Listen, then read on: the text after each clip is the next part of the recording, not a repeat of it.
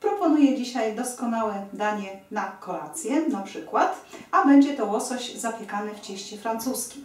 A zatem będziemy potrzebować, no ja mam tutaj taką porcję łososia, oczywiście łosoś pozbawiony jest skóry. Do marynowania łososia wykorzystamy sos sojowy, cytrynkę, a także przyprawy, sól i świeżo zmielony kolorowy pieprz. Będziemy potrzebowali jeszcze no, kilkanaście oliwek. Wykorzystamy także suszone pomidorki i będziemy naszego łososia zapiekać serem mozzarella. Wykorzystamy także kilka gałązek koperku i będzie potrzebna jeszcze odrobina masła i na sam koniec przesmarujemy y, ciasto francuskie roztrzepanym jajkiem. Oczywiście będziemy potrzebowali jeszcze opakowanie ciasta francuskiego. Żeby łosoś był soczysty, najpierw go zamarynuję, a zatem odrobinę soku z cytryny, odrobinę sosu sojowego, teraz delikatnie wcieram, sól,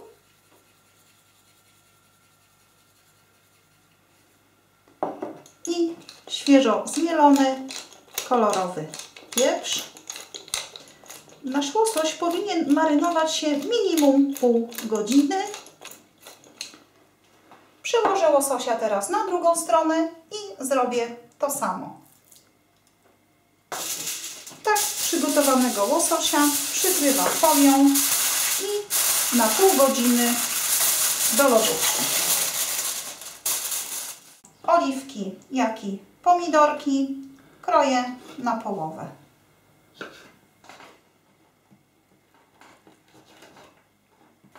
Serek mozzarella kroję w niezbyt grube plastry.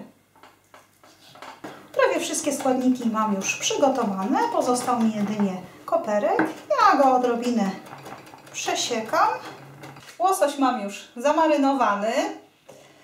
Dlatego mam gwarancję, że będzie naprawdę fajnie smakował. Przekładam na ciasto. Posypuję odrobiną na razie koperku. Wykładam plastry sera. I teraz suszone pomidorki i oliweczki. Posypuję jeszcze koperkiem. Taką tutaj teraz sporą porcję, bo jak wiecie, koperek świetnie komponuje się, no, szczególnie z łososiem. Dzięki temu nasza rybka, nasze danie będzie bardzo także aromatyczne. Nakładam jeszcze kilka kawałeczków masła.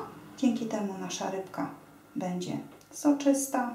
O, I jeszcze jeden kawałeczek. I już. Zawijam naszą rybkę z wszelkimi dodatkami ciastem. O, najpierw jeden bok i teraz drugi i do góry.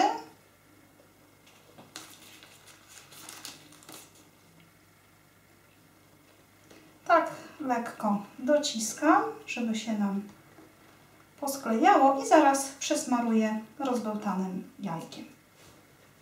Przełożyłam rybę w cieście już na blachę. Wykorzystałam papier, w którym opakowane było ciasto francuskie i w zasadzie już ostatni akcent.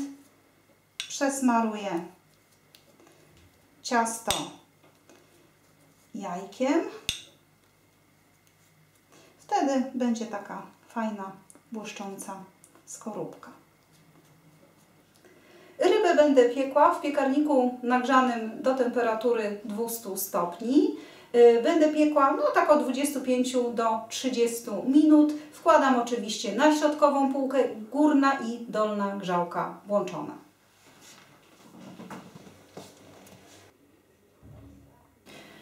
Moje pyszne danie na kolację jest już gotowe. Doskonała ryba pieczona w cieście francuskim, doskonały łosoś z cudownymi dodatkami takimi jak ser, mozzarella, pomidorki, oliwki. To wszystko razem smakuje naprawdę wybornie. Przygotowanie, jak widzieliście, nie jest skomplikowane, nie sprawi większych trudności, a naprawdę warto takie danie, chociażby tak jak ja dzisiaj przygotowuję, zrobić je na kolację. No, wybornie smakuje oczywiście z lampką białego wina, a zatem polecam i życzę smacznego.